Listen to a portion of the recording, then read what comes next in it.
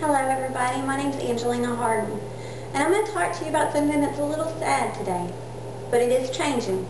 Um, I'm going to talk to you about horse slaughter. Now, horse slaughter is no longer allowed in the United States of America. There are no more horse slaughter plants here, thanks to a lot of organizations and a lot of people like you and me. Yay us! Yay! See, it does make a difference. But now we have another problem. Now they're taking our horses and shipping them across the border to Mexico and Canada. And that's not going to work. That's not acceptable. And you're like, well, how are they getting our horses? Well, one place that they buy them is at the auctions, like the livestock sales, the horse sales. They get a lot of them there. I know a lot of people take their horses there thinking that they're going to find a nice, loving home for their pet that nobody plays with anymore or their old riding horse that somebody's going to want to continue showing. That's not always the case. And probably the majority of it's not what really happens. And so they get them at the auctions. They'll get them from racetrack breeders because they breed for that one perfect horse.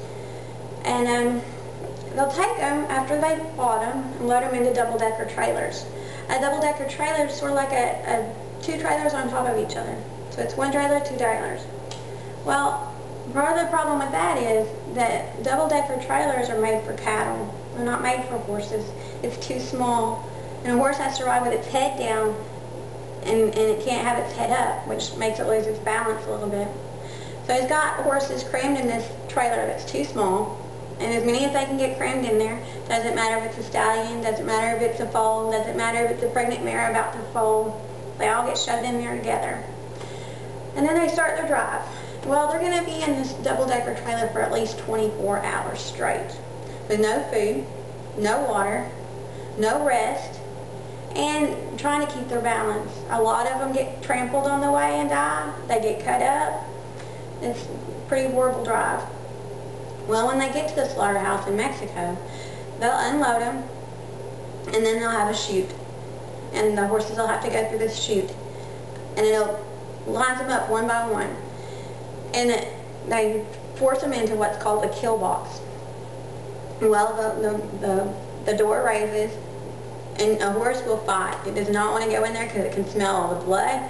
It can smell all the fear from the other horses. It does not want to go in there. So they'll beat it with rods or poles or fiberglass, whatever, and they'll get it in there, and then the door closes behind them. Then a man with a long knife, he'll take it, and he'll start stabbing the horse over and over and over in the head and in the neck. He's trying to sever the spinal cord is what he's trying to do. So he'll repeatedly stab his horse over and over in the neck. Okay, well finally the horse is going to go down. Well, more than likely it's still alive. And they'll open the gate, wrap a chain around its leg, and they'll hoist it up to the ceiling. And then they'll cut its throat. They call it bleeding it. And remember, the horse is probably still alive at this point, and then they'll start skinning it. And that's how that horse dies. If you can tell me that it's a humane death, then I'm, I'm just going to have to completely and totally disagree with you. That is not humane.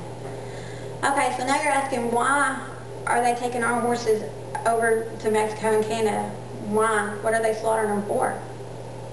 Well, it's for human consumption.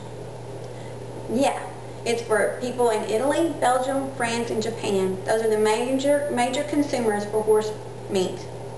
They buy it for about 15 uh, $15 per pound, which is why that horse, that killer buyer does not want that skinny horse over in the corner. He wants that fat and sassy one right there because he's going to make more money on that horse than he is that skinny one that's about to die.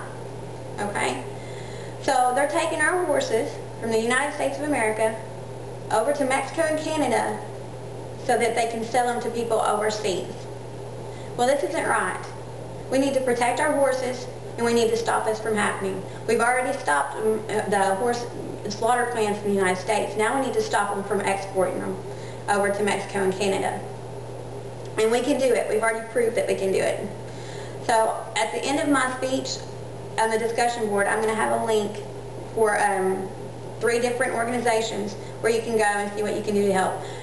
You can you can have a pre-made letter and just sign it for your senator. That's one thing you can do, and that wouldn't take more than five seconds. Because we can make a difference. We've already proved that we can make a difference. So help me to help them, and let's do it. Let's win this war.